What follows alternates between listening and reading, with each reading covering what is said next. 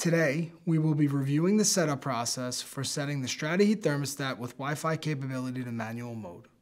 This will allow you to use it manually through the device itself and not through the app via Wi-Fi. Based on this approach, you can simply set it and forget it. Upon powering up the unit, you will come to this home screen, which is already set for electric radiant floor heat, which is the setting that this device works through. Select and press the green check mark.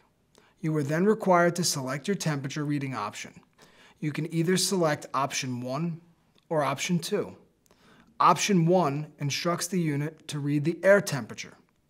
Option 2 instructs the unit to read the floor temperature, provided a floor probe was installed during the tile setting process. In most instances, we suggest that you select the floor temperature option for the most accurate reading possible. Once you select either of the two settings, you hit the green check mark. Now the unit will ask if you want to operate the thermostat in Wi-Fi or manual mode. If you want to be in manual mode, which is the basis for this video, you will simply press the down arrow to select the X, which represents no for Wi-Fi, thus enabling manual mode. Upon selecting the X, press the green check mark. From there, it is as simple as programming the date.